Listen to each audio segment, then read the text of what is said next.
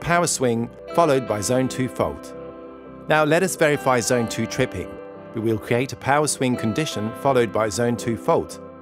To start this, first let us verify the settings. 0.0753 ohms per kilometer and the total line length is 252.7. So 0.0753 times 252.7 equals 19.015. This is the total line length impedance.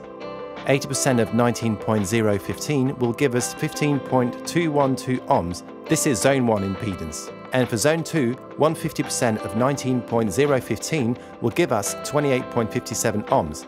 Now we will move the locus inside zone 2 and hold the state, such that the impedance is more than zone 1 but less than zone 2. So state 7, we are creating a zone 2 fault with these values. Now let me run the state. Power swing detected, followed by zone 2 fault and an auto recloser lockout.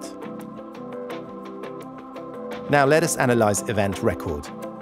The Siemens online spontaneous list displays the power swing detect and zone 2 tripping process.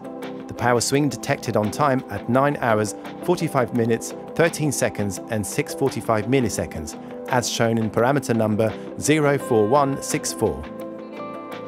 And it's turned off at 9 hours, 45 minutes, 13 seconds and 650 milliseconds as highlighted. The difference between the power swing detected off and the on time results in 5 milliseconds, for which the distance protection will be blocked.